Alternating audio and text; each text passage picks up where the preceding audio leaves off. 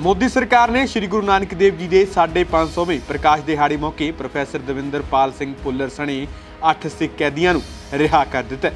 ਪੁੱਲਰ ਤੋਂ ਇਲਾਵਾ ਲਾਲਾ ਸਿੰਘ, ਗੁਰਦੀਪ ਸਿੰਘ ਖੇੜਾ ਬਲਬੀਰ ਸਿੰਘ ਨਾਨ ਸਿੰਘ, ਹਰਜਿੰਦਰ ਸਿੰਘ ਉਰਫ ਕਾਲੀ, ਵਰਿਆਮ ਸਿੰਘ ਉਰਫ ਗਿਆਨੀ ਤੇ ਸੁਬੇਗ ਸਿੰਘ ਨੂੰ ਰਿਹਾ ਕਰ ਦਿੱਤਾ ਗਿਆ।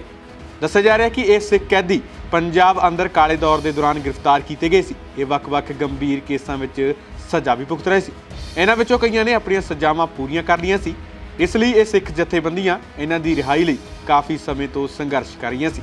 ਜ਼ਿਕਰਯੋਗ ਹੈ ਕਿ ਪ੍ਰੋਫੈਸਰ ਭੁੱਲਰ ਨੂੰ ਦਿੱਲੀ ਵਿੱਚ ਹੋਏ ਬੰਬ ਬਲਾਸਟ ਦੇ ਮਾਮਲੇ ਵਿੱਚ ਗ੍ਰਿਫਤਾਰ ਕੀਤਾ ਗਿਆ ਸੀ। ਇਸ ਤੋਂ ਬਾਅਦ ਅਦਾਲਤ ਵੱਲੋਂ ਉਹਨਾਂ ਨੂੰ ਫਾਂਸੀ ਦੀ ਸਜ਼ਾ ਦਿੱਤੀ ਗਈ ਸੀ। ਕਾਫੀ ਜਹਿਦ ਮਗਰੋਂ ਫਾਂਸੀ ਦੀ ਸਜ਼ਾ ਨੂੰ ਉਮਰ ਕੈਦ ਵਿੱਚ ਤਬਦੀਲ ਕਰ ਦਿੱਤਾ ਗਿਆ ਸੀ ਅਤੇ ਆਖਰਕਾਰ ਅੱਜ ਉਹਨਾਂ ਨੂੰ ਰਿਹਾ ਕਰ ਦਿੱਤਾ ਗਿਆ। Bureau report D5 channel Punjabi. E5 channel Punjabi. ਹੁਣੇ ਸਬਸਕ੍ਰਾਈਬ ਕਰੋ ਬੈਲ ਆਈਕਨ ਤੇ ਕਲਿੱਕ ਕਰੋ।